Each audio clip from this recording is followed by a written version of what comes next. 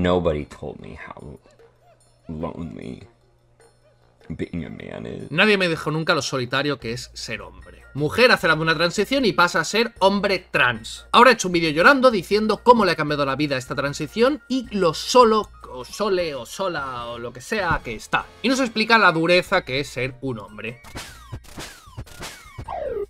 Bienvenidos a Libertad de lo que surja, esto es Coto de Caza Progre y vamos a ver este vídeo porque es súper interesante, porque se puede especular muchísimo sobre lo que es ser un hombre, lo que es ser una mujer, privilegios sociales de uno, privilegios sociales de otros, que si la gente se comporta de una manera o especular de tal o cual, pero yo creo que las personas más indicadas para hablar de esto son las personas que han hecho una transición y han podido ver esto desde los dos puntos de vista que hay, bueno, dos puntos, ya, me entendéis. Aunque evidentemente también esto tiene sus sesgos, porque habrá personas que prefieran más ser pues, el centro de atención y habrá otras personas que quieran pues que nadie se fije en ellos. Yo que sé, una mujer que ha estado sexualizada muchísimo y que siempre ha tenido acosadores por todos lados y tal, y a lo mejor hace esa transición de golpe, se ve que está completamente desamparada esta persona, sola y sin absolutamente nadie, y dice, esto es una maravilla, esto es lo que siempre he querido. Pero siempre que hemos ido viendo este tipo de vídeos, la tendencia suele ser a Vaya, qué bien sienta ser mujer y qué malo es ser hombre. De verdad que es espectacular. Vamos a ver este vídeo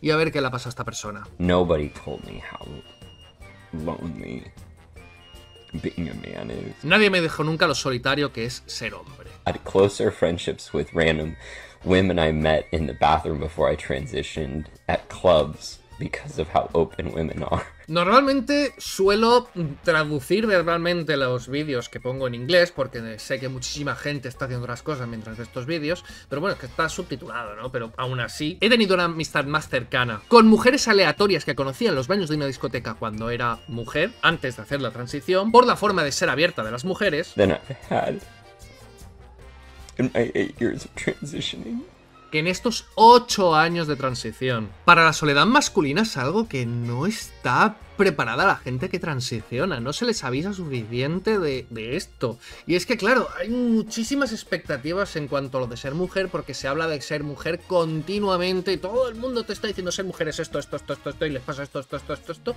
Pero cuando pasas a ser hombre, eh, nadie menciona lo que es ser hombre y las cosas que se sufren y tal. Solamente, pues, podcast de Red Pillars y cosas de estas, pero que están ultra denostados y como que se piensan todo el mundo que eso es mentira, todo lo que se menciona ahí, que sí que hay muchas cosas que son chorradas, pero otras que no, o sea, la soledad masculina es algo muy heavy. Because women are just so much more vulnerable and deep than men. Porque las mujeres, que son mucho más vulnerables y profundas que los hombres, no creo que sean más vulnerables y profundas que los hombres, simplemente que lo exteriorizan más porque tienen muchísima red de apoyo y les beneficia decir ese tipo de cosas. Si una mujer mm, pide auxilio, habrá muchísima gente que vaya a auxiliar, sobre todo hombres, sobre todo habrá muchísimos hombres que quieran auxiliar porque entonces habrán hecho algo por una mujer y se habrán, pues, habrán conseguido acercarse con una excusa. Al menos están tan solos los tíos que solamente con encontrar el resquicio de poder ayudar ya les quita un poco de soledad masculina. Entonces, solo con eso ya se siente un poco mejor por... Mira, Estoy completamente solo, pero por lo menos he conseguido ayudar a una mujer y en ese rato he estado interactuando con ella. Hay mucho tío actuando así, pero cuando llora un hombre, pues a todo el mundo le da igual. Las tías piensan que eres un violinizador, un acosador y un machirulo, yo qué sé, y entonces se lo merece. Y entre tíos, pues cada uno va a su bola porque, bueno, yo qué sé. Aunque es más probable que te ayude un pavo, un pavo random, que no una tía. But to have known, and I think a lot of trans men feel this, is we knew what de death felt like before we transitioned. We knew what it felt like to like have people want to hug us. Dice, pero yo lo sabía, lo de que las mujeres y tal son más vulnerables, según él. Y creo que muchos hombres trans conocíamos ese sentimiento de profundidad antes de transicionar. Sabíamos lo que se sentía, bueno, eso lo sabe todo el mundo. El sentimiento de cuando alguien necesitaba un abrazo. Si tú eres tío y necesitas un abrazo, tienes un abrazo. Si tú eres tío y necesitas un abrazo... En muchas, muchas ocasiones no lo vas a tener en años. Todas estas tías que no se explican por qué hay pavos que hacen ciertas cosas, no digo quitar la vida, pero sí que buitrean, siguen a no sé qué tías, eh, mandan fueguitos, eh, estas cosas clichés, que intenten hacer un trabajo de introspección y que piensen lo que harían ellas si estuvieran 8 años solas. 8 años solas. ¿Qué llegarían a hacer? y tener gente que hable con nosotros. Talk to. And have a community. y tener una comunidad. Bueno, aquí está contando lo que tenía antes, ¿no? De cuando era mujer, pues tenía comunidad, podía recibir un abrazo cada vez que lo necesitaba y demás. Pero And then you transition and you're just a guy walking down the street that people cross the street so that they're not near you. Pero luego haces la transición y la gente te deja solo. And friendships are so much harder to build. Y ahora es mucho más difícil construir amistades. A ver, también es verdad que cuanto más creces, más difícil es construir amistades. No es lo mismo con 20 que con 28. Ni lo mismo con 25 que 33. Lo mismo... Ya me entendéis. Entonces, sí que es verdad que existe ese factor de haber crecido 8 años. Pero mm, eso queda en nada comparado con... Bueno, When people are colder. What's hard is none of this invalidates how real and raw women and people who are in marginalized groups feel about cis white men. All of that's valid. Ojo, que esto es importante. Dice lo duro que es esto, que es muy frío y tal, pero esto no invalida cómo las mujeres reales y las personas de grupos marginalizados se sienten. O sea, está hablando de grupos marginalizados. ¿Y no te parece que estar solo 8 años te convierte un poco en el marginado? Sea, estar solo 8 años es literalmente estar marginado. Y es el sentimiento que tiene la inmensa mayoría de hombres. Dale a ello of that's valid.